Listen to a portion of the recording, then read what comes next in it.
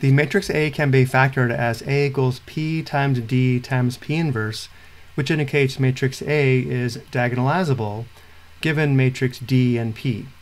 If vector x is 7 times the vector negative 8, negative 11, plus 6 times the vector 3, 4, we're asked to find matrix A times vector x without computing matrix A. What they don't want us to do here is to determine P inverse, then determine matrix A by determining the product of P, D, and P inverse, and then finally determining matrix A times the vector x.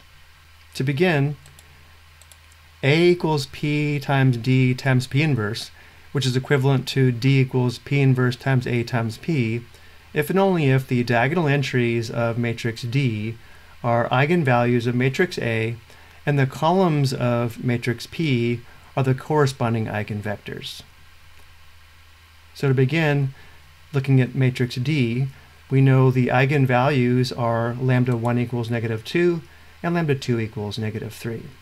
We also know the corresponding eigenvectors are the columns of matrix P, but it's also important to recognize these two vectors also appear in vector x. Next, we'll let vector x equal the sum of the vectors x1 and x2, where vector x1 equals the constant c1 times the vector v1, and the vector x2 equals the constant c2 times the vector v2. Next, we'll let vectors v1 and v2 be the eigenvectors of matrix A, which again are the columns of matrix P, but also appear in the vector x. At this point, notice we can say that c1 is equal to 7, and the vector v1, which is an eigenvector, is the vector negative 8, negative 11. And it also follows that the constant c2 equals 6, and the vector v2, which is the second eigenvector, is the vector 3, 4.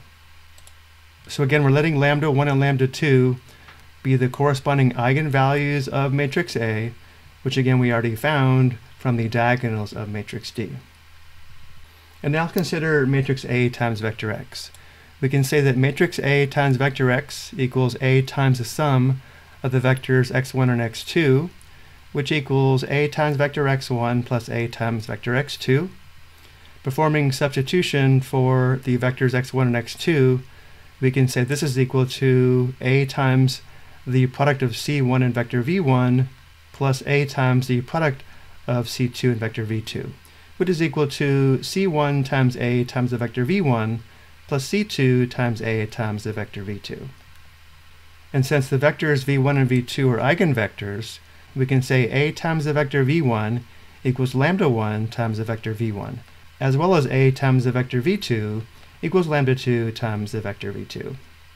And therefore it follows, again from above, c1 times a times the vector v1 plus c2 times a times the vector v2 equals c1 times lambda 1 times vector v1 plus c2 times lambda 2 times vector v2.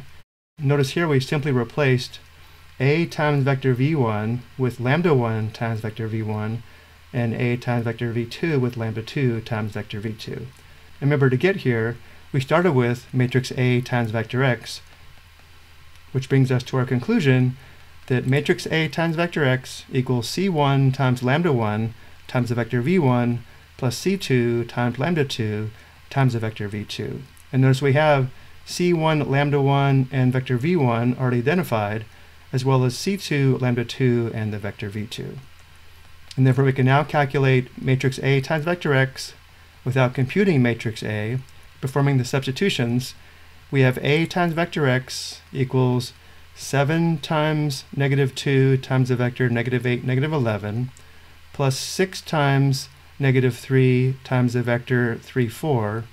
Simplifying, we have the vector 58, 82. I hope you found this helpful.